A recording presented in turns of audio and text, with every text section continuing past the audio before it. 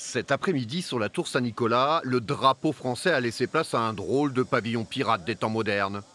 Et dans la salle basse de l'édifice, surprise, les vibrations de vos pas font apparaître cette installation de lumière et d'aluminium, là, dans ces vieilles pierres du XIVe siècle.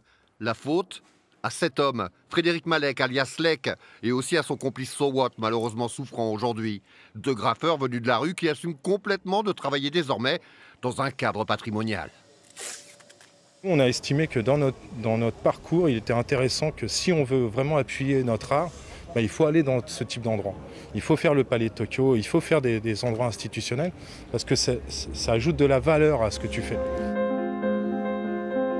Sowat et doivent leur renommée internationale à leur mausolée, un supermarché parisien désaffecté qu'ils ont commencé à investir en 2010.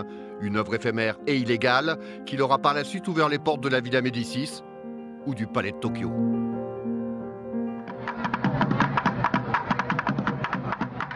Les bombes de peinture et les murs de la ville ont donc laissé place à d'autres supports et d'autres outils comme un simple tableau noir ou une craie. Aujourd'hui, c'est le pont qui reliait jadis les deux tours de La Rochelle qui les a inspirés. La Rochelle, un des 100 sites du réseau des monuments nationaux qui a eu carte blanche cette année pour accueillir des plasticiens que ce soit Vincennes, le Panthéon, le Château d'If et les Tours de la Rochelle, il y a une saison de graffiti où il y a un discours entre les graffitis faits par les prisonniers, les soldats et le graffiti revisité par les artistes contemporains. Pour nous, c'est un peu ça. Tu as toujours s'appuyer de l'histoire du lieu. On ne savait pas trop ce qu'on allait y faire et on a toujours besoin de s'appuyer sur quelque chose d'utopique et d'historique.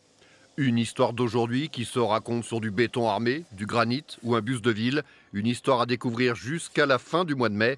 Tour Saint-Nicolas.